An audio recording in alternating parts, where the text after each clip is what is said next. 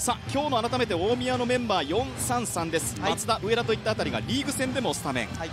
えーワイドに展開していくという形になるんじゃないかなというふうに思いますね。はい、セットプレーからの得点はまだここまでわずかに1ゴール。リーグ最下位です。ここは少し一工夫入れてきました。小島ミドルシュート。こぼれたボールプレッシャー!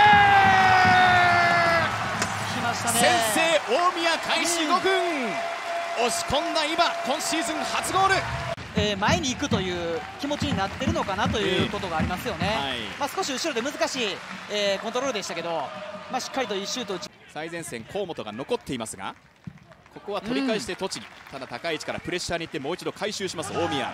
小島正人。もう一度流してボックス内には4人入ってきています。うん。人数厚みをかけて小島柔らかいボール、さあまだあります仕掛けて黒川左足クロス抜けてきた。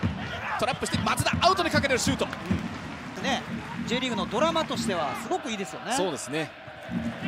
シュートだク！ロスバーこぼれ球ポイント受けながらもドリブルできる強さがあるのかと。ういうところがちょっと不十分。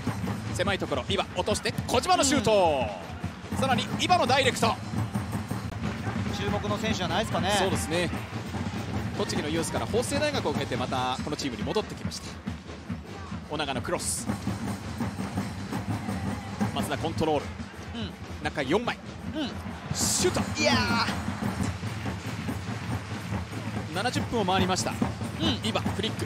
チャンス。左から入れてきた。いや至近距離からのシュート。柳が非常に集中していましたが。さあ左サイド柴山。細かいタッチのドリブルから股を抜いて今安定して今中には黒川。この2人のこぼれてきた、うんここには大宮のプレー。セカンド柴山。切り返す。柴山のミドルシュート。おどうかった。うん。この辺りですよね。真辺りロングスロー。セカンドボール。柴山の左足。2人3人ここねすぐ守備行きましたからね栃木の方は、右サイドまで顔を出しました。柴山のクロス。ヘディングうーん両チームのファンからこうして惜しみない拍手が送られます